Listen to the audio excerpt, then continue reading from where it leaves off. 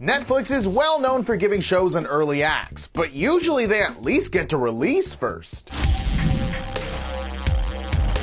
Welcome to Screen Rant News. I'm Ben Skipper. Sad news for Dark Horse Comics fans as Netflix has officially pulled the plug on their adaptation of Grendel, despite having shot a full season. I guess they saw what Warner Brothers did to Batgirl and thought, ooh, two can play at that game. News of the show not moving ahead was reported by Deadline. However, it was an Instagram post from the Flash star Andy Mientus, who was playing Larry Stoller in the series, that revealed that they shot not just a pilot, not just a few episodes, but an entire season. The good news is that the series can be shopped around elsewhere and hopefully given a second chance, just like what Netflix did with NBC's Unbreakable Kimmy Schmidt. For all your latest news on TV and movies, make sure to check us out here at Screen Rant. I'm Ben Skipper, thanks for watching, and see you next time.